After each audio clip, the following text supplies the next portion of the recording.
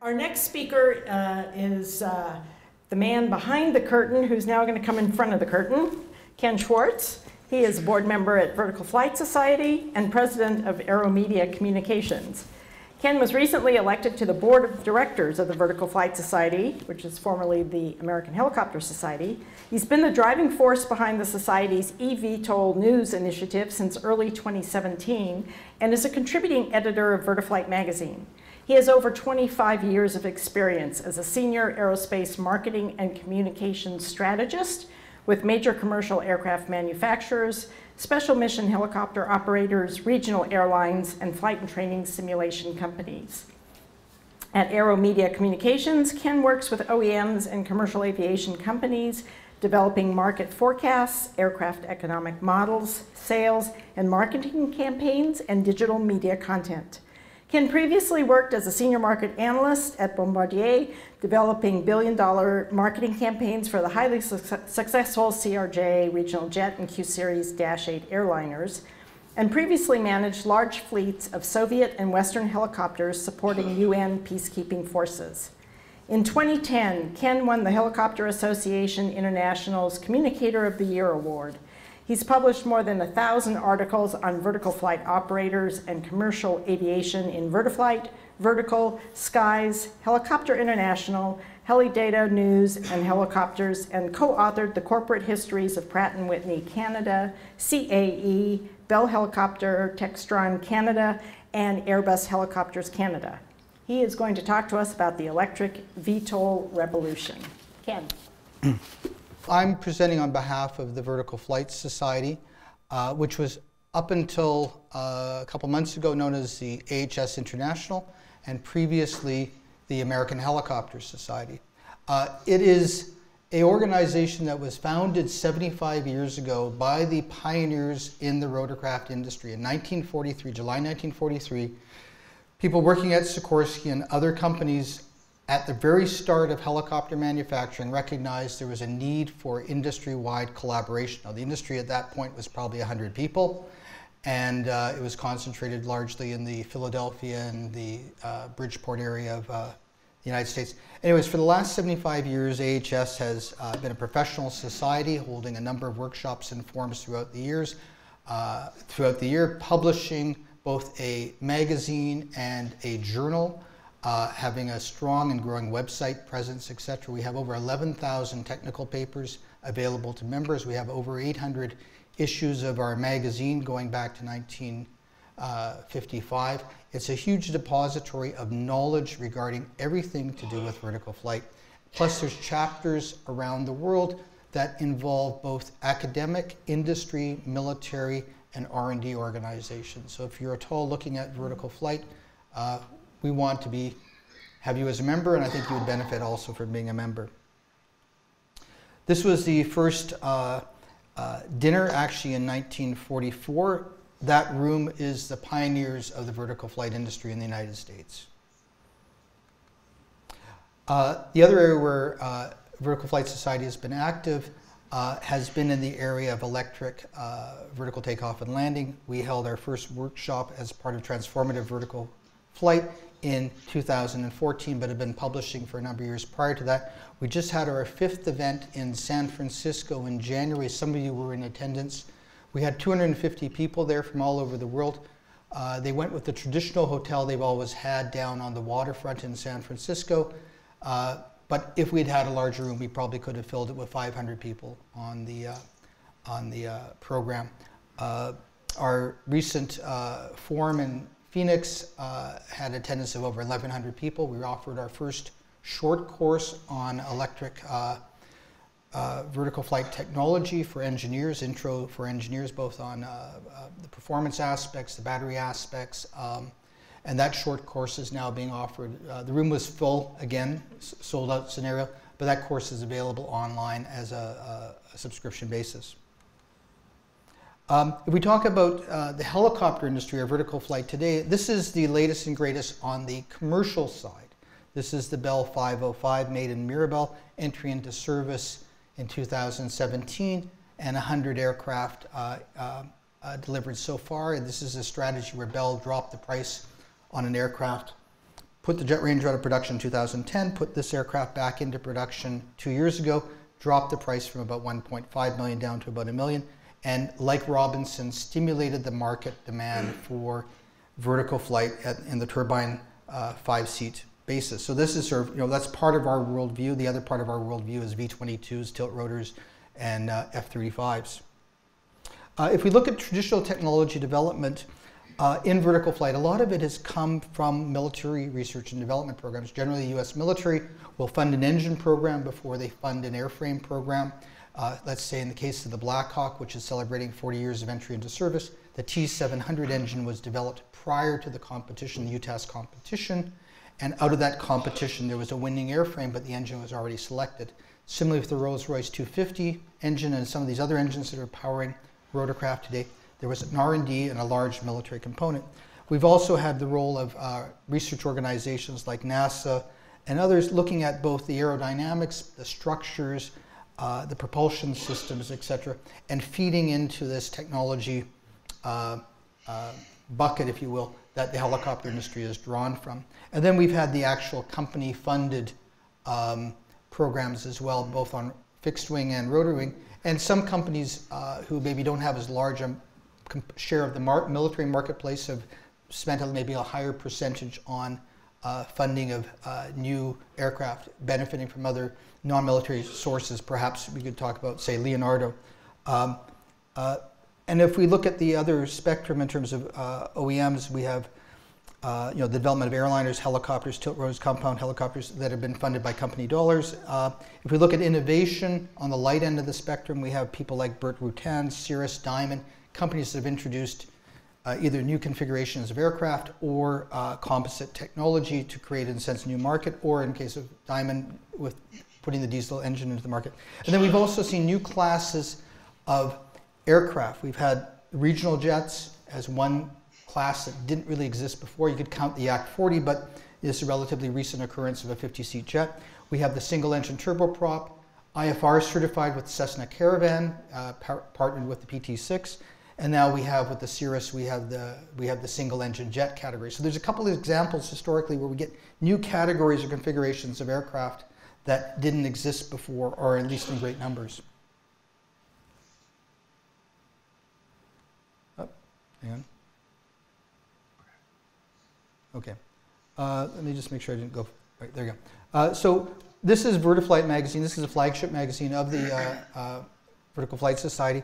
And what we've seen in terms of just you know the cover pictures, we started to see from conventional tilt wings and helicopters into a whole bunch of new stuff uh, that's coming through the industry, both from traditional OEMs and from uh, uh, new, in a sense, startups or people who have not traditionally been playing in the aviation space.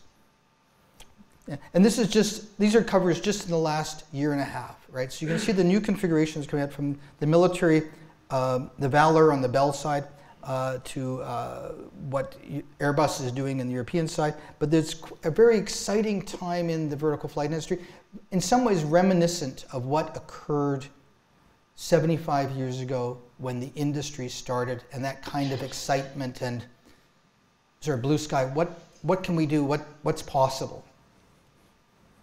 Um, so eVTOL, why now? We have a number of things taking place in sense of convergence right now. Some of the technologies coming in from other industries, not necessarily being developed by the aerospace industry, and so that's how we've got around the technology development advances in batteries, computers, uh, modeling, simulation, AI, advances in composites, low-cost manufacturing, regulatory change in terms of can FAR Part 23 accommodate a aircraft that has both vertical flight capability and traditional uh, winged flight. That's one possibility. Um, but the other thing, of course, is that the investment environment is such that money is flowing into the companies and companies that would maybe traditionally have been sort of back garage kind of projects have got the funding required to push and uh, attract the talent necessary to move things forward. Um, I think it was at Oshkosh 2010 when I was here, Sikorsky on their booth had a Schweizer uh, 269 or 300 CBI where they had taken out all the uh, engine and transmission and all the mechanical related stuff, and they put two batteries on the sides of the aircraft, and they had an electric motor there, and they, and they were talking, you know, great guns about you know, electric flight, and then it never flew. And what happened? Well, there was a realization within the helicopter industry that taking an existing aircraft configuration and swapping out the power plant was not the way to go. That when you start to look at electric, you are not duplicating the engines that are there and, in a sense, creating a horse drawn or a mechanical horse to replace a real horse, but you're opening up the area to new configurations optimized to the power plant that you've selected. So the key thing here, and we all know about this, is distributed electric propulsion as the, as the, in a sense, facilitator, and then the benefits in terms of uh, reductions in cost and noise as some of the key drivers, plus the ability for, uh, with limited power available, to go on a wing and therefore go further than you would if you were strictly a rotor, rotorcraft. Okay, so the prehistory, uh, the known prehistory, I guess, is the key thing because what happens is occasionally things come out of the blue that someone's been working quietly on an electric VTOL aircraft that you know nothing about until seven days ago. Uh, but of the known programs, we had the, uh, the uh, Project Zero at, at uh, Leonardo, we had the early eVolo, we had Solution F in France, we had the NASA Puffin. These are sort of, in a sense, precursors to where we are now. Uh, but this is really going only back about eight years. Uh, recently, as of last week, we found out that uh, Marcus Leng uh, in Canada had flown an aircraft on October 5th, 2011, some, uh, just about 60 miles outside of Toronto, which at that time was called the Skycar Rebel, and now has been rebranded. Uh, he's working on his third and fourth generation aircraft as the Opener Blackfly V2. So this is the V2 that flew in March. The V3 has not flown manned yet. But this is a kind of a scenario where there's stuff going on that we don't know. So there's a bigger picture than what we're aware of. Um, so disruptive, dis, disruptive technology, um, it's an evolution in the uh, revolution, sorry, in, in, aerospace industry. Electrification uh, is, is, the, is the path. Cost reduction and green technology is one of the attractions. And in order to make it work well, you need to look at a highly integrated design. Um, we know what the key drivers are. It's all these different technology uh, pieces and building blocks that are coming together. Um, and the motivations, of course, there's a strong financial motivation uh, uh, amongst a lot of these projects to, you know, in a sense, tap into the next big market.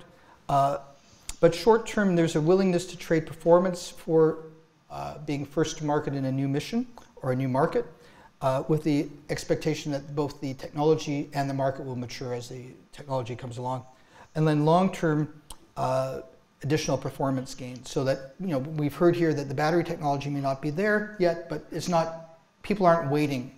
They're trying to move things forward. Uh, the, uh, on the NASA side, we have the Grease Lightning as an example of distributed electric propulsion, um, uh, where in a sense it was embraced by a government agency. And then on the entrepreneurial side, we have the eVolo. Uh, so we this was just about a year and a half ago uh, when the the eVolo appeared. And again, I think for some people that was a bit of the wake up call. I remember being at Heli Expo two, two, two years ago and seeing the cover of the magazine and thinking, what? You know, for those people who are in the traditional helicopter world or vertical flight world, this is completely out in peripheral vision. It's not something that traditional helicopter industry is looking at, at least the commercial industry is you know, just becoming aware of now. Lilium, uh, again, new configurations brought about by distributed electric propulsion. In this case, rather than rotors, we're talking about fans and uh, distributed on both the, uh, the, uh, the, the, the, the, wings and the canards, right? And there's more of a design optimized for longer distances.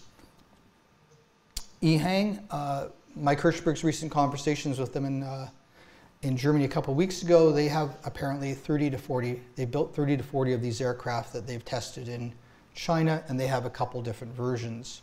Again, regulatory framework, the opportunity, where it's going to go, uh, too early to say, but they've actually been you know, producing series production, um, uh, but it's still early days for them. Joby, we know that Joby's been flying for over a year and a half. There's, they did invite some uh, reporters to the test center somewhere on the California coast where they were able to see an aircraft fly uh, uh, manned uh, in the test center area, and it was uh, the term was uh, twice the speed of a helicopter, making as much noise as a swarm of super bees. Now, I'm not actually sure how loud a super bee is, but uh, you know, you know, there's there's these projects, and this is some early material that Joby had released at our earlier Vertical Flight Society forums in terms of configurations and. Um, uh,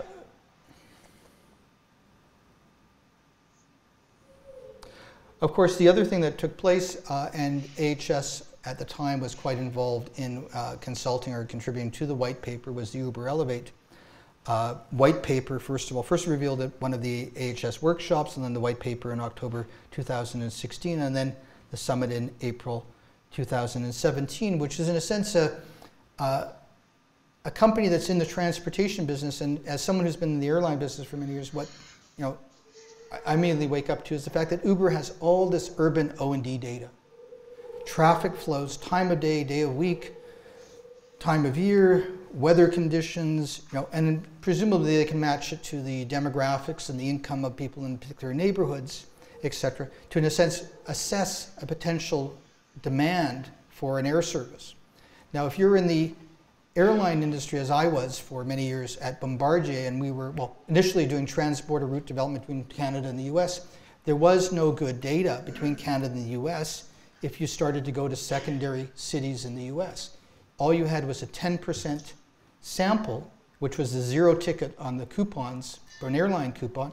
And so in a small market, 10% sample, you really don't know how many people are, say, going from Edmonton to Kalamazoo so we actually had to start the route and see if the demand was there.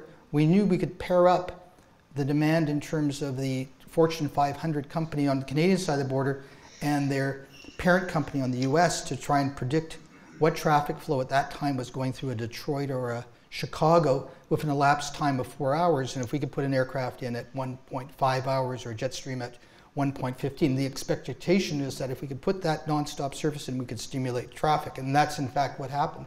But it was you're almost going in a bit blind in that case. So with this urban, uh, uh, the Uber kind of thing, or using cell phone data, you have much more data today that you can work from in terms of trying to determine what the ONDs are. Similarly, when we did the regional jet marketing, the thing that we ran into was that the, the, the regional airlines, um, how are we doing for time? Uh, the regional airlines at the time, uh, they were dominated by turboprops. And so their, their worldview was 250, 300 miles out from a hub. They knew all the little towns within 250, 300 miles of the hub. They ran the turboprops there, whether it was a Brasilia, a Dash 8, Beech 1900, ATR, uh, you know, any of the regional aircraft, and they, they scaled up. But they didn't know what lay beyond. And the mainline airlines in terms of understanding what the market opportunity, they were basically limited to uh, cities outside the hub that could accommodate a DC-9 or a 737 or larger. So there was this gap in terms of understanding demand where the regionals didn't know what was over the horizon and the mainline guys didn't know the smaller markets. And so when we sold the regional jet, we had to model, in a sense, potential new routes and what kind of traffic we would be able to flow in through the hub that, and divert from another carrier. And the benefit was essentially taking a three leg journey and reducing it to a two leg journey, and someone could travel in less time, they would favor the regional jet service. But it was ultimately elapsed time, part of that was the, the selling points. Anyway, so we have the urban, now we're looking at those networks, but we're shrinking them from 300 mile range circle or uh, or the, the, RJ range of a turboprop to, or an RJ range circle of say 300 miles to a, 1,000 miles, we're looking within the city itself. So it's a very exciting sort of concept. You know, you have the data there. Can you put the technology in place? Can you put the infrastructure in place? Can you put the fare structure in place such that you can just you can do this on a very large scale? Um, so in terms of urban air mobility, NASA defines urban air mobility as a safe and evident, efficient system for vehicles, pilots, pilots or not, to move passengers and cargo within a city.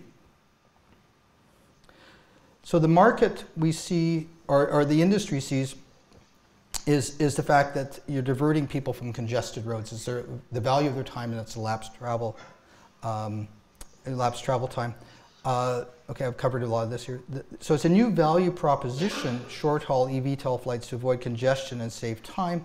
Creating an ecosystem, as many of the people have alluded to, means that you can't just look at the vehicle, you can't just look at the, the, the vertiport, but you have to look at everything.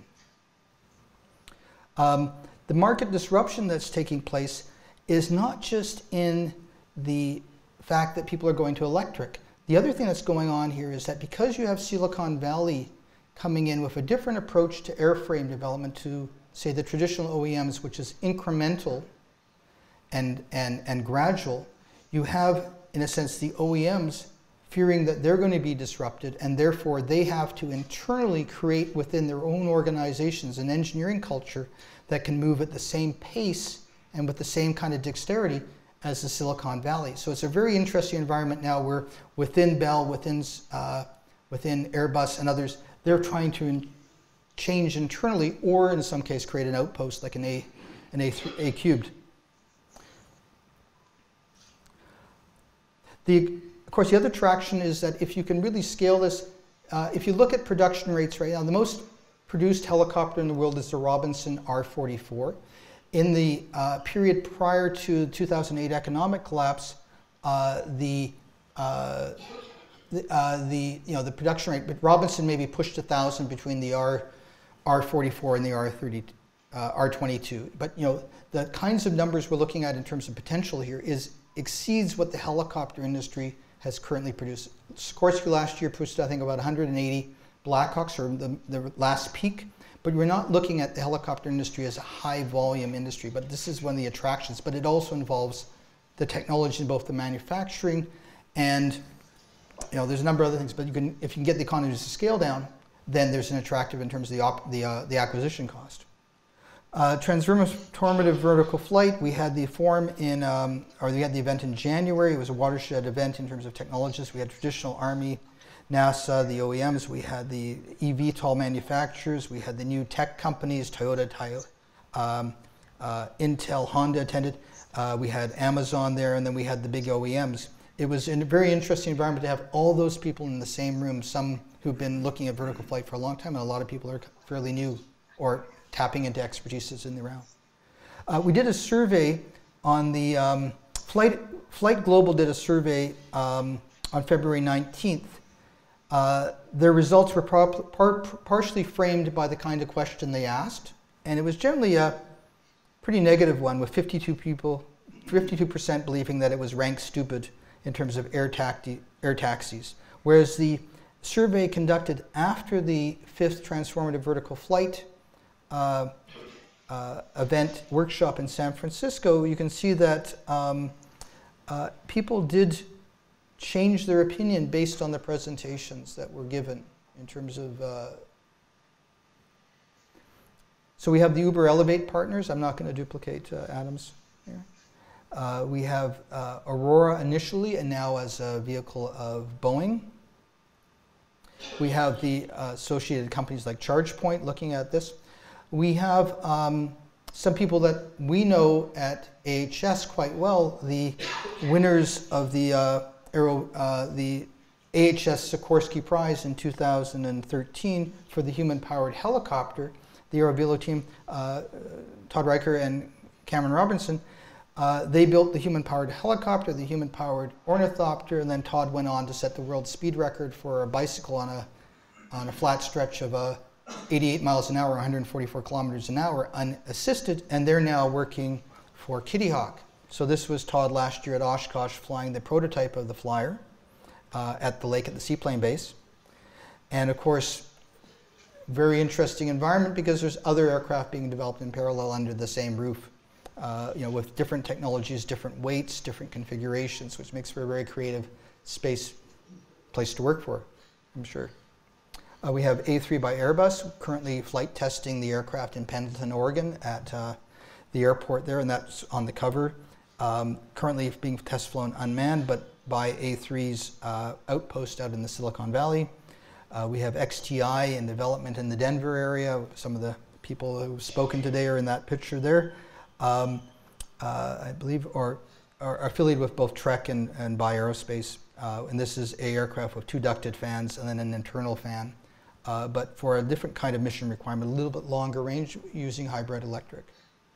Um, the other thing that happened this last year was at the CES, or the Consumer Electronics Show, which is one of the largest trade shows in the world, there were four, sorry, there was three different uh, eVTOL aircraft there. We had the Bell Concept, we had uh, Surefly, and in fact, on the stage of the Intel presentation, they flew the Volocopter. So you're sort of seeing this coming from the industry insiders coming out into the consumer market in terms of awareness.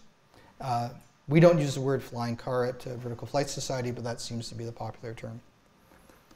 Um, our recent survey, so this is uh, as of the 15th of July, I'm sure it's out of date, but we identified 45 vectored thrust aircraft, 12 lift cruise configuration aircraft, 12, 24 wingless multicopter aircraft, and 23 hover bikes, including some of the aircraft that were selected on the short list for the uh, Go Fly Prize, the 10 that were announced recently. If we go down into greater depth, uh, this is what we have. All of this is on the eVTOLnews. Uh, eVTOL.news website. We have profiles and technical profiles on all these aircraft there. And we also have a regular e-newsletter that we produce, uh, try to produce it twice a month, which has updates on all the programs. Uh, we're also producing uh, video uh, uh, profiles of a number of these different operators. We hope to shoot a number of videos here at the show. Um, now, coming at this from someone who's been in both the helicopter industry and the fixed wing industry for a while and also living up in Canada, I thought I'd throw in a couple little insights I have. Um, uh,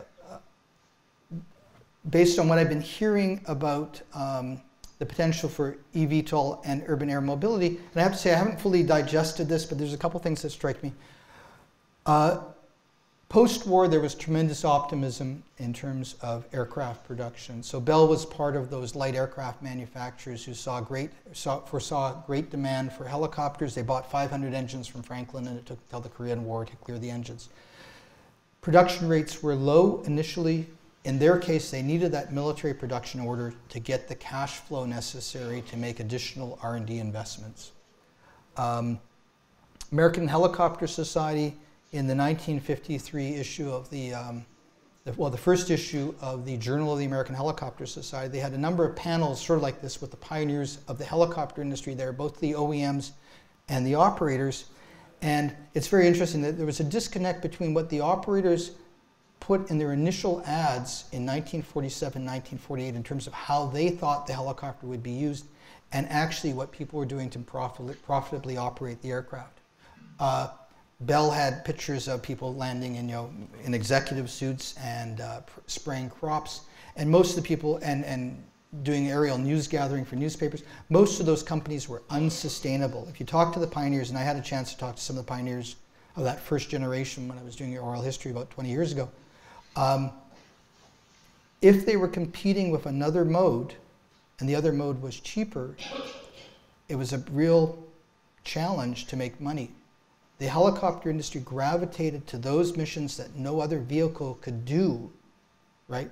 Working in the mountains, working offshore, overcoming geographic barriers where the, the, it wasn't a, the, the, the, you couldn't make a simple apples to apples comparison. And oftentimes the success of the aircraft was not measured in terms of the, the, the, the, the aircraft cost, but it was reduction in time of the project, how long it took to build a power line, how long it took to build a dam site, how long it took to fly out to an oil rig and not have uh, oil workers that were seasick from going out by boat. So the so you know, and in the in the first journal, which is available to members online, you can read the you know Carl Agar, uh, Bob Suggs from PHI, uh, Carl Brady from Era Helicopters. You can see what the pioneers were, and they talk about how they had to shift their business model to become economical. All five helicopters that came into Canada in 1947 were for agricultural use. Four of them crashed the first year, and none of them made money flying, uh, spraying crops. There were too many surplus aircraft around.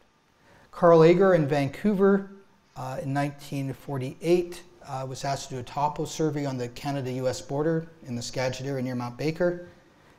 Landed on a cirque at 4,000 feet the, you know, below a glacier and that was the beginning of mountain flying anywhere in the world. This was the Kemano project that Bell and Sikorsky raved about in the early 1950s. Entirely supported by helicopter, thousands of men working there, over a million landings on you know, platforms. It was a monumental thing and it could not have been done without a helicopter.